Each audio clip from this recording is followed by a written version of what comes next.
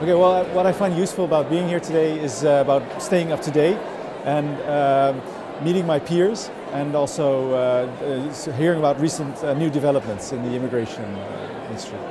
Well, first of all, it's to be seen, uh, of course, to be to be become known as a company and as a person. But it's nice to meet people and, and see who's who in the immigration and mobility industry.